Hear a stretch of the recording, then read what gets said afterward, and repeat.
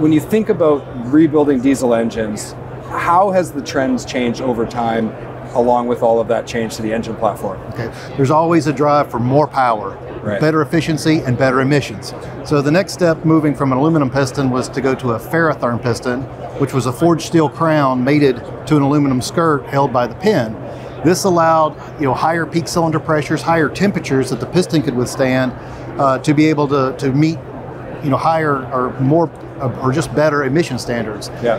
Then shortly after that, they, the emission standards increased even further, and pistons became all steel. And what most people don't realize, you know, you think about a steel piston, well, that's going to be heavy, mm-hmm. but a monotherm, which is a single piece steel piston, is actually about 30% lighter than the steel and aluminum combination. Okay. Now, when it comes to rebuilding, there's only a few manufacturers that can make this type of steel pistons with all of the features and benefits that you find on a MAHLE piston.